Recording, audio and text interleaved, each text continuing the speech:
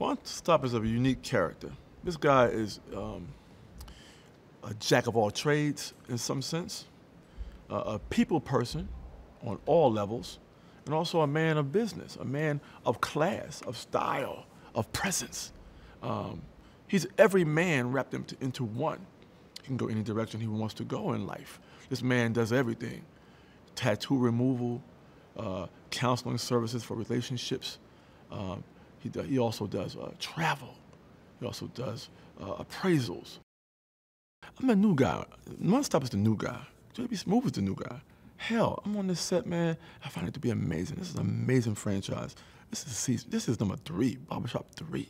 You know, and it shows that people keep moving. People, when, when they see films like this, they you gotta realize they don't. They see it as a film, but also see it as as it's relatable to their own barbershop. So when they see people are still doing well, they see the, they see the the, the, the, the, the you know the barbers are all back, you know, and they see they are doing well. They, they're still doing what they do well. They're still supporting the neighborhood. They still got customers. They still all the great things that make a barbershop unique. This is what it's all about, and you feel it when I'm on the set and I'm in that set and I feel I'm around. I've never been a barber myself, but I've been around barbershops all my life. When I'm in that room, I feel like wow, I'm part of something amazing. And that's what being a part of not just a movie like this, but part of a, a set where you got some unique characters, unique actors who are playing these characters and bringing these characters to life. This is what it's all about to me.